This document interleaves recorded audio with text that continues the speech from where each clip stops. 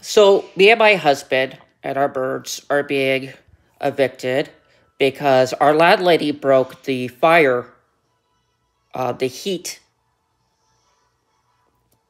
thing, and uh, she wants to blame it on us. We didn't do it, she did it.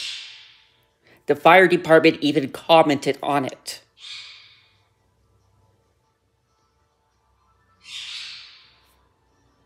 We're being evicted because she wants to renovate the entire building. And that's just it.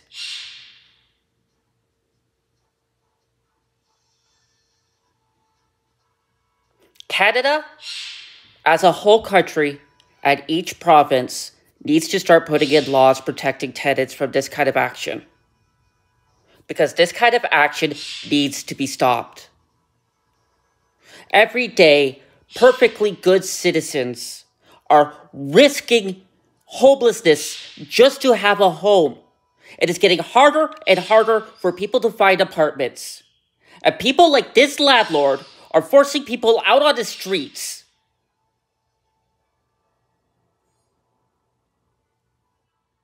There's something wrong with you people. There is something wrong with you people. To be doing this to people for what? Money? You're never going to be rich.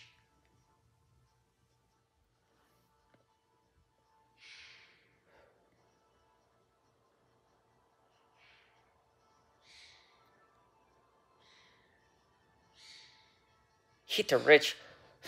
Anymore, it's hardly even the rich that's the problem.